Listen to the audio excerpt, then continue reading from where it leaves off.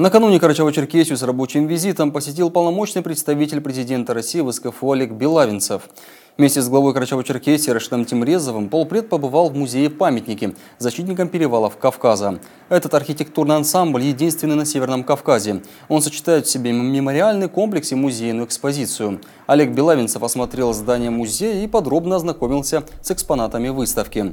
Полпред и глава региона возложили цветы к братской могиле, где захоронены останки неизвестных советских воинов, погибших при защите Клухорского, Марухского, Санчарского и других перевалов Кавказа.